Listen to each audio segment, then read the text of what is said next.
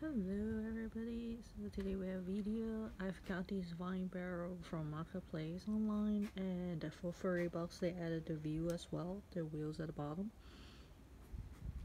So I just bundled it uh, and just want to show you guys, this is redwood here at the, at the top cap here and this filled with cement and you can see the rubber and I basically just use the fabric cloth here um, kind of to secure it and I do plan plan to plant in this area where the wind blockers is. I did put way more layers than I needed um, because I want it to last. And for the tips you do want to use some sort of like self-drilling screws that I got from Home Depot here you can see so then the ring wouldn't slip as the wood expand and contracts due to the weather. In California weather they do change a lot.